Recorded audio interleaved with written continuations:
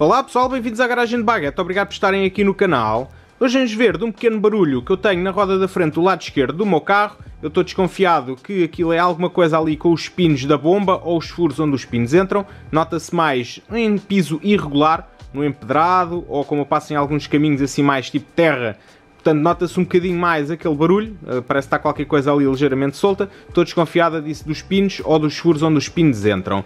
Entretanto, também estava aqui a arrumar a garagem depois de termos tratado do outro carro. Estava aqui com as coisas um pouco desarrumadas, ainda vou ter de acabar de arrumar para meter o meu carro aqui dentro. Mas queria-vos só mostrar aqui parte do que eu retirei dentro do outro carro. Isto era o que ia da zona do autorrádio até à mala. Portanto, podemos ver aqui, isto era do amplificador, temos aqui o cabo de corrente, temos também aqui os cabos RCAs, que levavam o sinal de áudio, temos também depois aqui o cabo de massa, já não sei qual deles é que é, mas está aqui, acho que é este, cabo de massa, isto tinha coisas tipo, já estava aqui tudo escafiado, tudo estragado, já não sei onde é que está, já não sei onde é que está, ah, está aqui, o cabo de massa também estava ali perdido lá para trás, aqui com um bocado de fita isoladora. Atenção que isto ainda havia mais uns fios que eu depois entretanto retirei ali na zona do tablier, coisas muito más mesmo.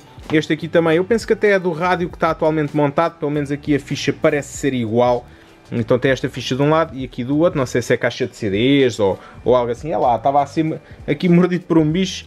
Então depois temos aqui também, eu penso que isto é alimentação, porque um dos fios vem aqui, é este amarelo, e depois tem o outro fio de massa que está aqui, espetacular, um terminal de olhal aqui com um parafuso picha de porco, aqui espetacular, portanto isto também é bacana, isto supostamente é uma alimentação e outro de massa, mas são os dois pretos, portanto bacana, né? aqui mesmo bacana, e depois temos aqui do sistema anterior do rádio original que vinha no carro, temos aqui mais um conjunto de cabos, este branco nem sei para o que é que serve, sinceramente, nem sei bem o que é que, o que, é que se passa para aqui, mas pronto, podem ver, isto aí é o autorrádio original, tipo a ficha original acho que é neste estilo assim, que entra no autorrádio original, mas pronto, tinha aqui esta extensão, que depois tinha aqui dois fios que iam aqui depois para o resto da caixa de CDs, tinha aqui esta ficha também. É lá, está ali a, a minha impressora está ali a fazer um bocado de barulho nas ventinhas, a ver se troco ali as ventinhas, já têm bastante tempo e já começam ali a fazer algum barulho estranho. Mas pronto, tínhamos aqui muita coisa, isto já não lembro qual é que era o lado que ia à zona do autorrádio e o outro aqui ia à zona da mala, já não me recordo muito bem, mas pronto, temos aqui este material, eu acho que isto, se não estiver perto dos 5 kg, este material aqui deve estar muito perto desse peso, porque isto é mesmo muito pesado e estava no carro e já não era, nada era utilizado, não estava nada montado no carro, a não ser mesmo os cabos das coisas, o resto já não estava lá. Não percebi muito bem o porquê, mas pronto, quando se trocou se calhar do rádio que está atual pelo antigo, né? Podiam ter tirado logo estes cabos, mas entretanto estavam lá estes, pá, entretanto retirou-se amplificadores, caixas de CDs e afins, é pá, podia-se ter arrancado o resto, mas pronto, já está tratado, menos 5 kg de peso no carro. Como eu tinha dito, também estou a arrumar a garagem, estou a arrumar aqui todo o material que era do carro, tenho aqui a régua de injeção, o corpo de admissão, a cabelagem da centralina que estava toda amarada, está aí os tubos também da sofagem, aqui tenho o sistema de GPL antigo, está aqui tudo montado, até está aqui o copo do flash lube e tudo, que eu já não vou utilizar nada disso. Entretanto, umas coisas que eu fiquei do Luigi, uns faróis e mais umas coisas. Está aqui a cabelagem que eu aproveitei aquele terminal para ligar à bateria, também está aqui. Ainda tenho ali algum material, correias velhas, ali coletor de escape, coletor de admissão. Tenho aqui também algumas coisas de consumíveis, também depois vai para o lixo. Portanto, temos de arrumar primeiro aqui as coisas. Ah, também tenho aqui umas quartelas. Isto o Luigi arranjou-me isto. Ele tinha isto guardado no norte, na casa dos pais. Então ele arranjou-me isto, a ver se também guarda isto em condições, porque isto é o mesmo padrão do carro, então convém guardar este material. Entretanto, estava aí a falar da impressora 3D, como podem ver, isto tem estado sempre aí a bombar, eu não tenho mostrado, mas ela tem, não é 24 horas por dia, mas tem estado aí a bombar bacana.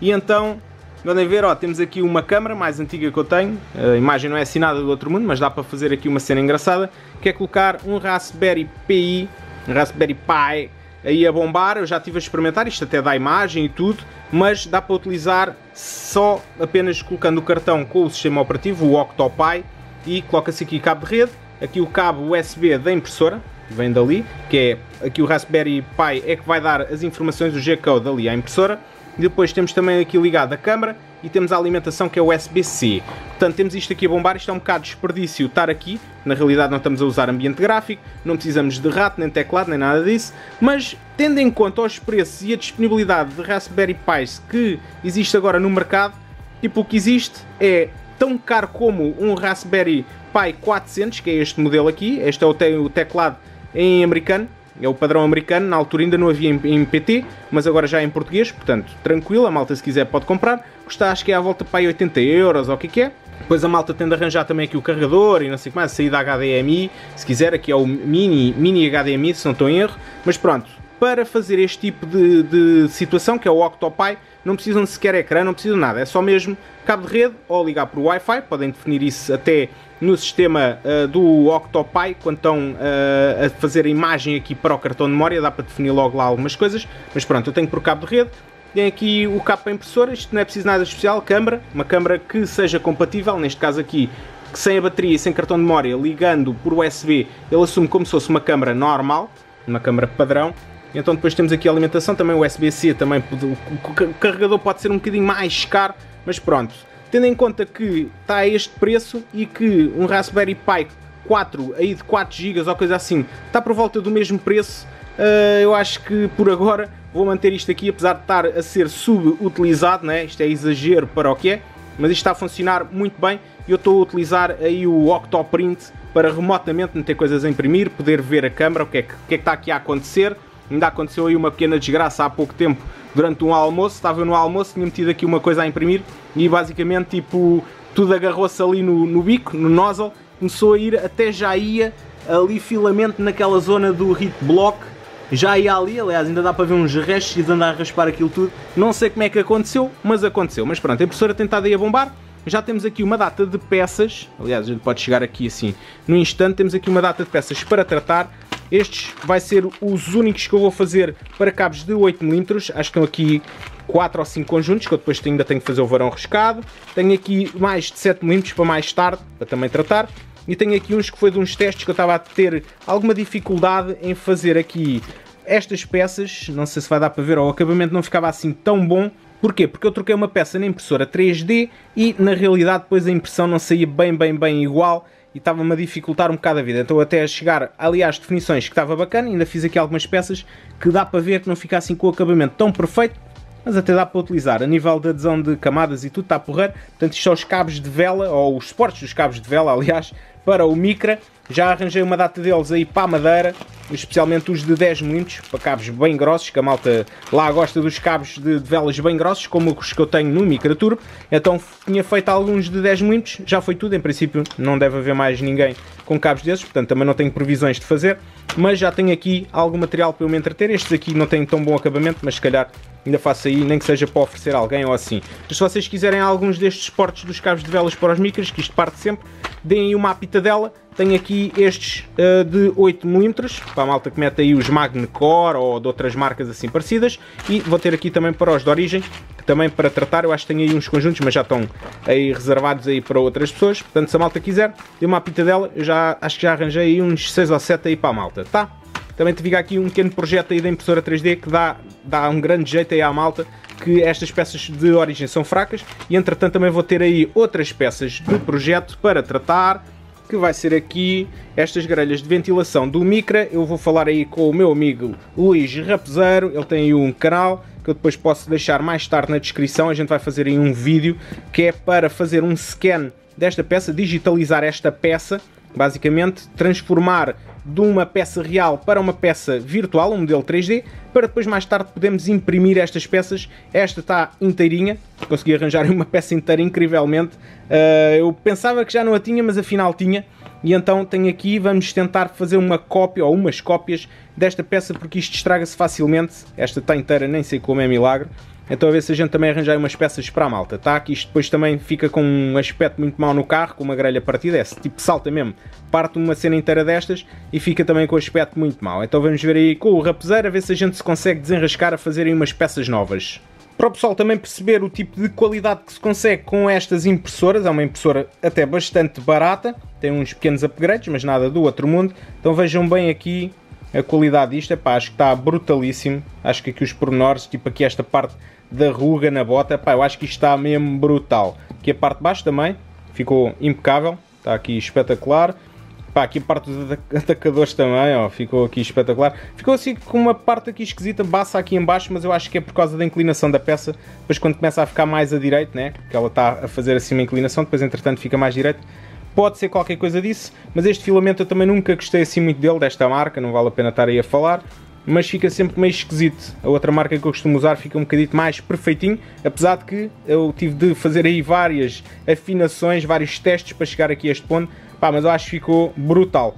Acho que está muito brutal, aqui por dentro também não está nada mal e especialmente aqui estas partes de cima, que é quando acaba, a ver se eu consigo meter isto aqui a fazer aqui o foco em condições, então podem ver aqui a parte de cima que é a parte mais complicada, né? que as camadas são mais estranhas, não é tão à direita, olha bem para isto, acho que está brutal, está aí, parece escadeado, mas mesmo assim não se nota muito. Existe aqui um outro sítio também, que é aqui, nota-se ali a pontinha, olha, acho que ela acabou de fazer qualquer coisa, nota-se ali aqui este biquinho aqui nesta zona, mas também nada de especial, passa-se a mão, também não sente nada de especial.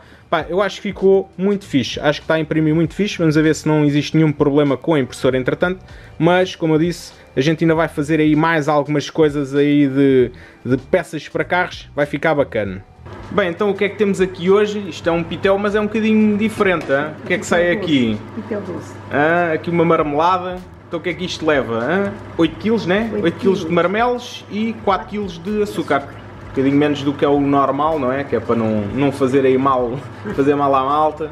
Mas pronto, mexa aí para a gente ver aí como é que está Pois, aí. põe-se lentamente, põe-se põe uma ao brandinho, para ir começando a derreter o açúcar. Agora já derreteu o açúcar, já está a começar a ferver. Já está a caramelizar também, já está a Já está ficar a começar a ferver. Ó, já dá para ver aqui alguns bocados que já está. Ui, até a câmara embacia, já está a começar a ficar, Pois, a ficar correr em alguns começa- sítios. Ó, começa a. O marmelo começa Caramelizar. a cozer, não é? Agora tem que ferver para aí, para as duas horas, hora e meia, duas, porque isto é muito. para ficar aí tudo E bem depois moidinho. quando fica assim, tudo mais escuro, muito mais escuro que isto, tem que ficar bem escurinho. Depois tiramos uma fotografia quando filmamos quando tiver já escuro escuro. Quando tiver uma coisa que já esteja tão. Depois é que se tira e se põe no, no sítio para guardar, não é? Isto como é muito, vamos pôr Isto é num um. tabuleiro grande. É que vocês não estão a ver, isto é um panelão, Tem isto é oito- tem gigante. 8 quilos de marmelo. 8 Com quilos de marmelo. açúcar são 12 quilos. Bem, mas isto, isto depois também vai ficar mais pequeno, né? Isto entretanto Pois é. mirra Ah, bastante. porque agora tem que apurar. Claro. Agora tem que ferver assim baixinho e até fazer. Agora pode-se deixar estar à vontade, porque este tacho também é muito grosso, não aqui deixa, a gente não já deixa aqui, pegar. uma hora e meia, duas horas a gente já Sim. volta, né? Depois, Então pronto, vá. Até já, malta. Bem pessoal, isto já está quase pronto, está mesmo já aqui nos finalmente. Depois é preciso fazer o quê?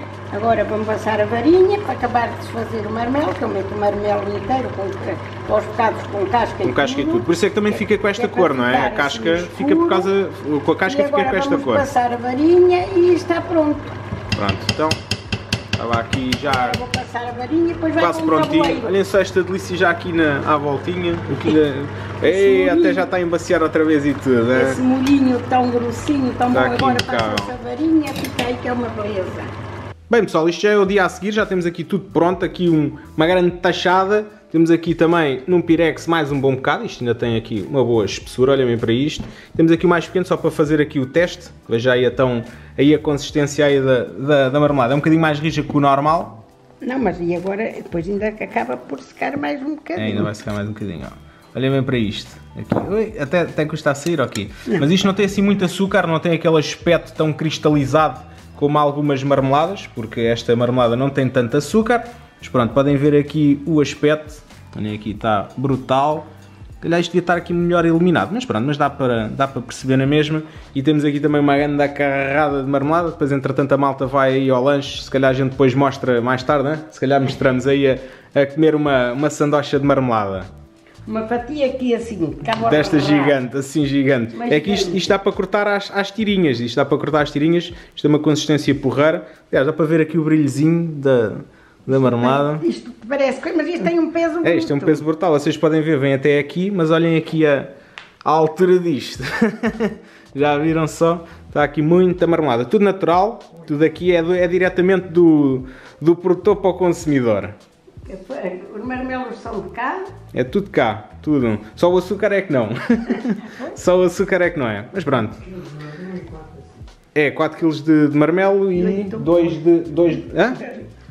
8 de marmelo, é 8 de marmelo e 4 Quatro de de, açúcar. 4 de açúcar. Acho que foi o que a gente se tinha dito.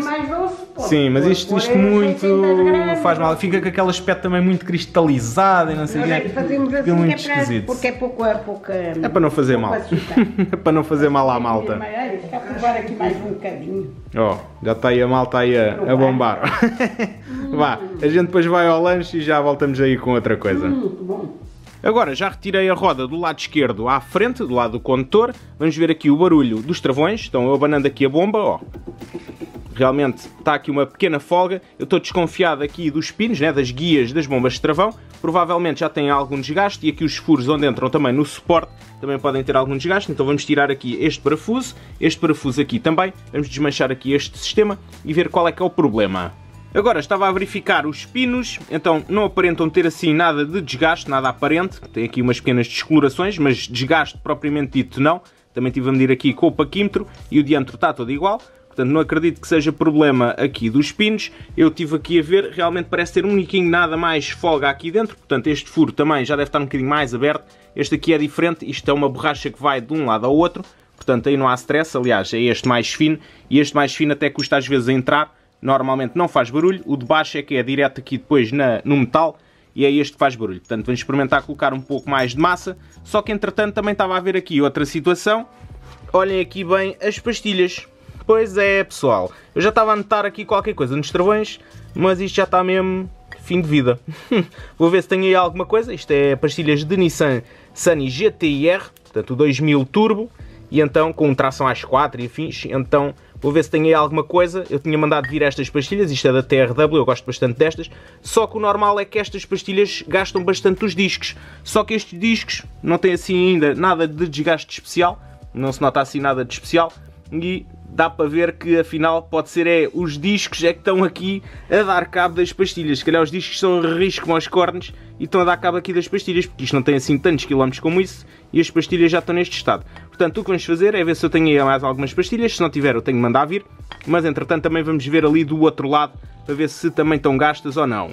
Bom, está aqui a solução não tão elegante de momento, mas foi o que eu consegui arranjar. Então tenho aqui umas pastilhas EBC Yellow Stuff, tinha aí as pastilhas paradas, tem bastante mais de meio gás ainda para comer, Portanto, montei aqui as pastilhas, de certeza que vão rebentar aqui o disco todo, que estas pastilhas são bastante agressivas, é iguais às que eu tenho montadas no microturbo, e elas realmente comem bastante o disco. Este aqui foi o contrário, os discos é que parece que andaram a comer as pastilhas, e então agora vai acontecer o contrário. Eu não vou estar muito preocupado agora com o sistema de travagem, eu sei que isto vai travar o suficiente. Estes discos eu também nunca gostei muito deles, não sei porquê, e acho que há um que estava a querer ficar meio empenado, Portanto, vamos ver o que é que dá. Eu precisava de umas pastilhas para me desenrascar, eu tinha aí umas outras novas, mas eu também já tinha experimentado no outro carro e não gostei, não travavam nada de jeito. Assim a gente desenrasca-se com estas pastilhas. Entretanto, vamos também trocar ali do outro lado para ficar tudo igual, né?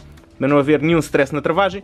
Se fizerem isto, trocarem pastilhas, discos e afins, não se esqueçam depois no final irem ao pedal de travão, darem umas bombadas, que é para os pistões das bombas encostarem outra vez nas pastilhas, prensarem aqui as, o disco entre as pastilhas e ficar tudo ok, porque senão vocês saem com o carro, vão meter o pé ao travão, isto ainda não tem o curso suficiente, ainda tem aqui muito espaço para preencher, podem ainda não ter dado as bombadas todas, ou podem já não ter tempo para dar as bombadas enquanto o carro está a deslizar para algum sítio e podem marrar com o carro em algum lado, e a gente não quer isso. Portanto, depois de mexerem nos travões, deem sempre umas bombadas no pedal. Entretanto, fiz aqui mais um projeto na impressora 3D, está a dar aí bastante jeito. Então, isto é um compressor de segmentos. Basicamente, eu fiz a cópia do outro que eu tenho para BMWs, da Wiseco, que é feito em alumínio. Isto é plástico, como é óbvio, não é tão resistente. Isto também é para utilizar todos os dias. Então, o que eu fiz foi, desenhei a peça, Aqui ao diâmetro é um bocadinho nada mais pequeno do que o cilindro e o tamanho do pistão, bate certinho. Aqui é um bocadinho mais largo e faz tipo um chanfro, quase nem se nota. Então quando a gente mete aqui o pistão em cima, com os segmentos, ao empurrar eles vão sendo comprimidos e quando chegarem aqui vai ficar certinho e esta parte vai ficar aqui mesmo no cilindro, mesmo na parte de cima vai ficar mesmo bacana. É só empurrar o pistão e fica logo lá dentro.